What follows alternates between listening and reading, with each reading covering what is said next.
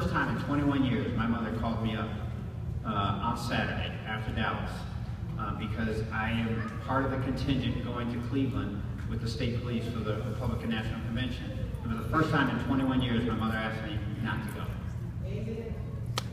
There is an increasing concern for law enforcement, and so when I'm approaching uh, students at colleges that are criminal justice and asking them, hey, are you thinking about state police? No, I, I don't want to be a police officer. I, I don't mind being a probation officer or uh, something else, but I don't want to be a police officer. Why not? Because it's dangerous. And what we constantly try to do is, is have a conversation. Well, where do you think you can have the greatest impact? And so, in short, because I'm probably run out of time, I would say the biggest reason for someone to join the police department is because you could have the greatest opportunity to make the change that we're talking about today if you put on this uniform.